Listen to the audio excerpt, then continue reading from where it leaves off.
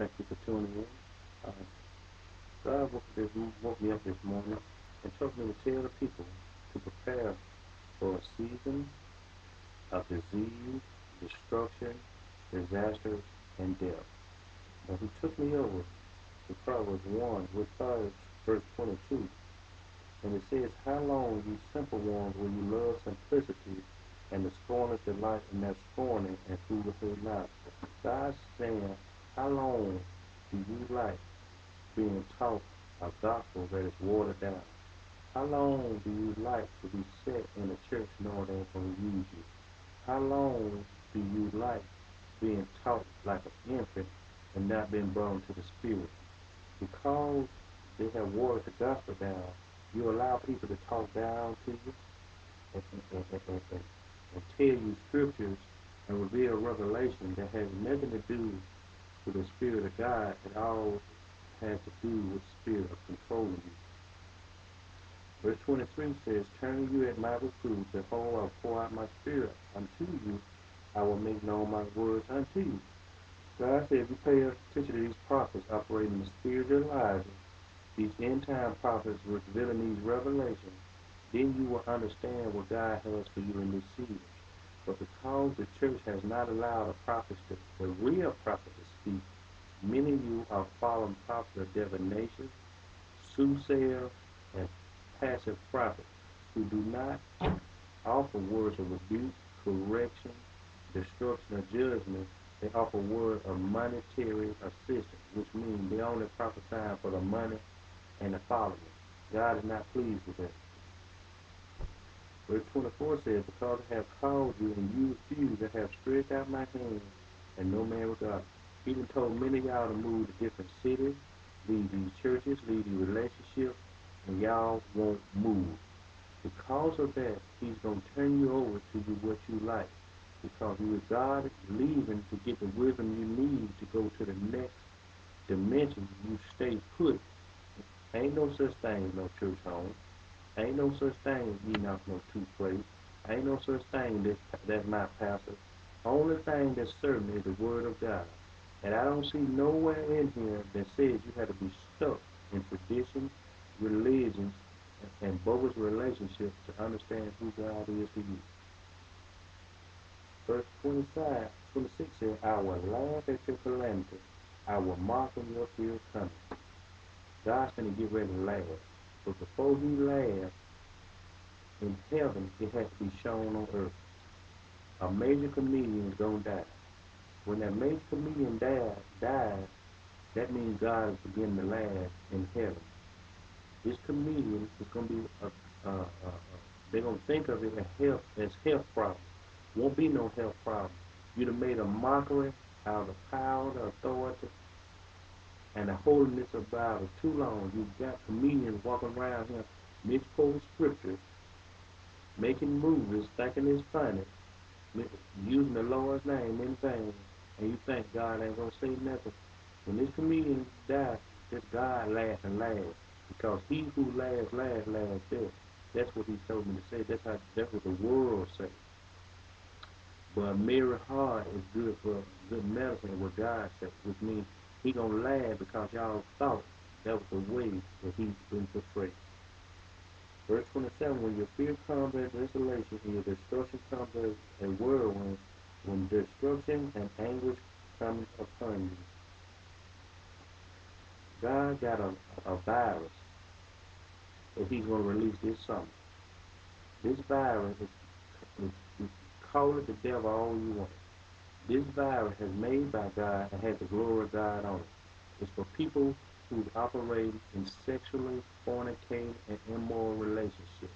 Because of the way y'all letting these pastors uh, molest these boys, uh, adultery on their wife, and still put them up on the pulpit. This virus will be so simple, but it won't be no cure on it. Because God's name is so pure, but his name is holy at the same time. won't be no known cure for it. The only cure is going to be coming to Elijah prophet, and you got to be holy before they even touch your hand to release this disease off of you.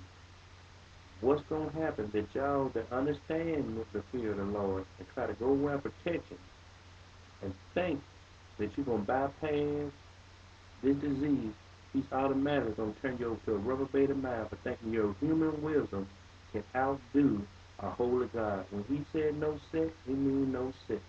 So many of you, when this virus starts, and I ain't gonna tell you when it's gonna start. I'm gonna keep the fear going. It might have started already.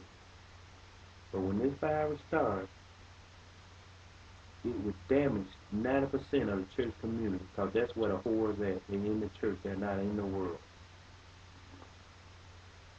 When your destruction comes as a whirlwind, God is going to send tornadoes that destroy a whole community, and the house next door won't even be touched because the church should be the light of the community.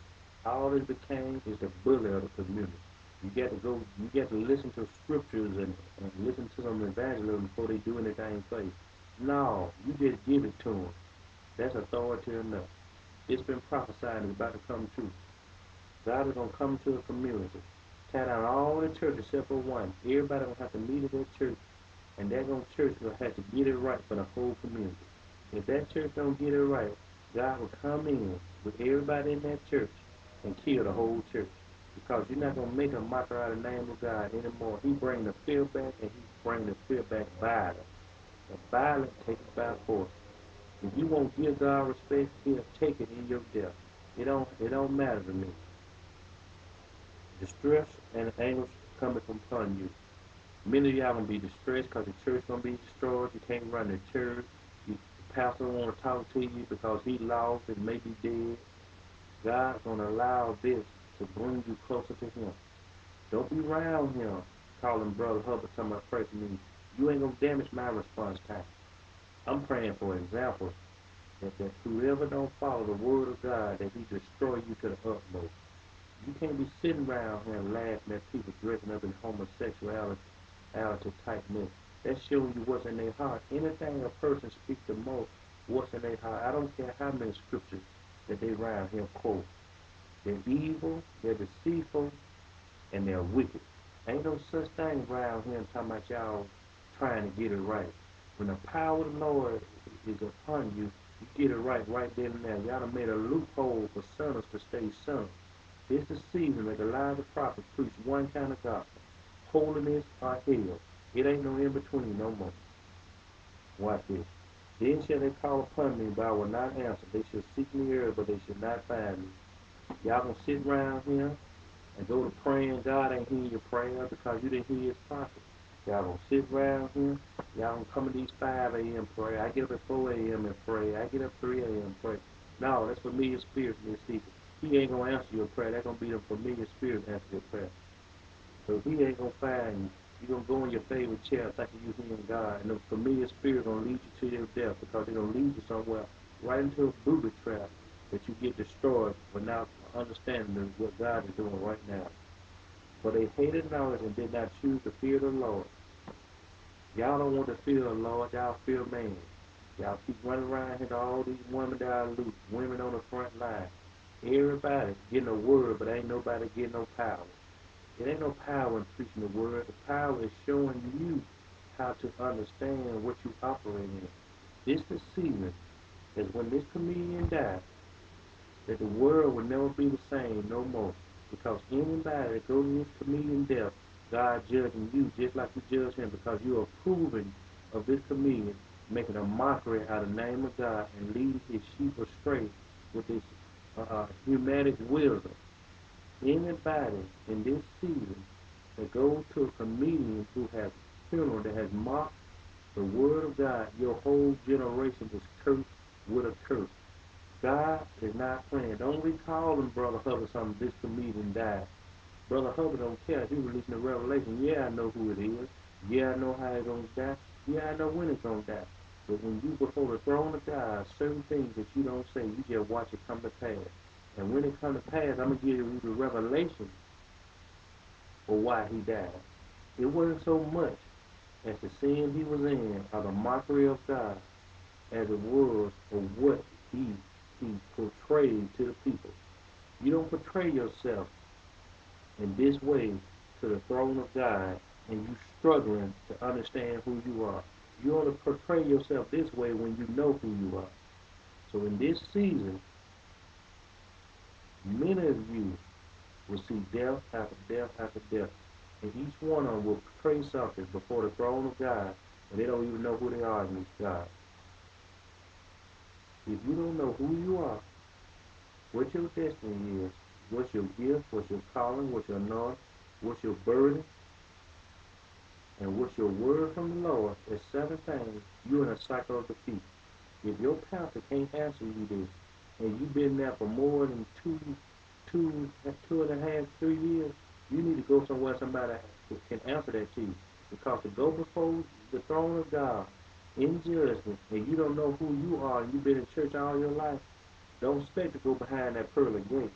You expect to go down the hill because you don't follow a man so long that you lost who you are in God. Y'all be blessed.